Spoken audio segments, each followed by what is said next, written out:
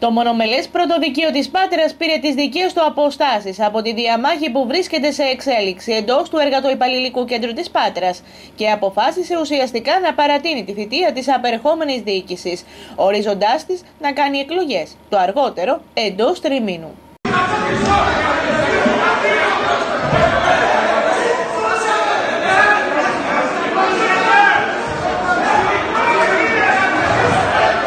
Η απόφαση εκδόθηκε μέσω της εκούσιας δικαιοδοσίας, την οποία δεν αναγνωρίζεται ως αντιδικία η διαμάχη που είχε ως αποτέλεσμα να αναβληθούν οι εκλογές του περασμένου Δεκεμβρίου.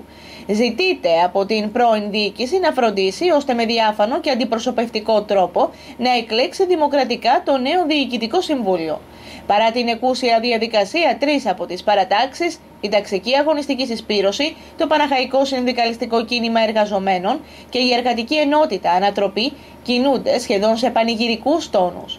Ο λόγος είναι πως στα πλαίσια των 17 μελών της πρώην διοίκησης, οι τρεις αυτές παρατάξεις διαμόρφωσαν νέα πλειοψηφία και στηριζόμενοι από 9 μέλη ανέτρεψαν από την Προεδρία της Σταυρούλα Παναγοπούλου Νικολάου, η οποία υποστηρίζεται από 7 μέλη της παράταξης Ένωση, πρώην Πάσκε και τη Δάκε.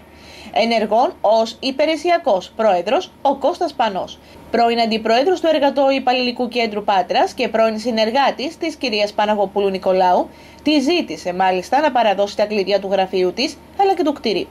Να θυμίσουμε πως για να φτάσουμε σε αυτό το σημείο είχαν σημειωθεί μέχρι και επεισόδια και μάλιστα όχι μόνο μία φορά αλλά τουλάχιστον πέντε. That's what this is.